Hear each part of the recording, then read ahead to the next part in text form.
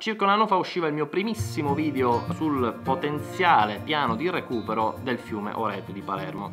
Un video che quasi immediatamente si è viralizzato, è andato abbastanza forte, grandissima botta di fortuna, ha scatenato una serie di reazioni, da cui delle risposte molto positive anche inizialmente dalla politica. E questo ha portato nel giro di brevissimo eh, riunioni, contro riunioni, tavoli tecnici, connessioni tra gruppi che prima non si parlavano o si ignoravano addirittura tra appunto associazioni ambientalisti, eh, istituzioni, vari compartimenti movimenti all'interno delle istituzioni, cittadini che prima avevano solo delle idee propositive appunto rispetto al recupero del fiume e invece hanno avuto la possibilità di mettersi eh, all'opera anche per eh, la raccolta dei rifiuti o la raccolta delle firme. Siamo arrivati in testa alla classifica provvisoria del FAI, concorso nazionale dei luoghi del cuore, o finalmente i palermitani per un motivo o per un altro hanno capito che hanno un fiume che scorre sotto casa che potrebbe essere una delle vie della resurrezione di questa città.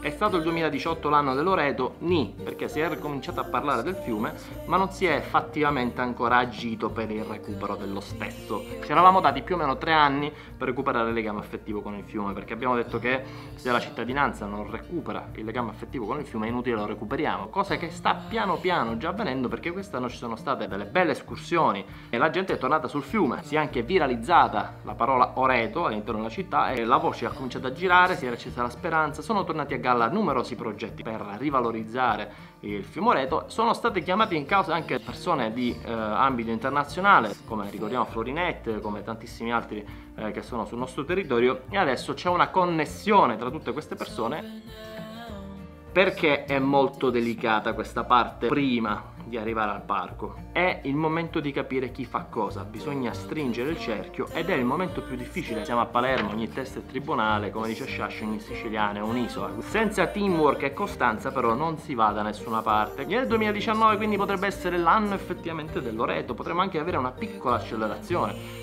non magari tre anni ma due per riallacciare il rapporto affettivo con il fiume e poi magari al terzo, il quarto, il quinto, il sesto parlare di parco. C'è già un contratto di fiume aperto, ci sono già diverse proposte in comune per il recupero in un modo o nell'altro del fiume, anche per trovare i finanziamenti, la regione consenziente, insomma ci sono tutti ingredienti per l'anno prossimo. Non ci saranno premi, non ci saranno medaglie, l'unico premio sarà di poter camminare all'interno del parco Loreto quando sarà fra 10 anni, fra 50 anni, non lo so, e poter finalmente dire ce l'abbiamo fatta. E ce l'abbiamo fatta tutti insieme.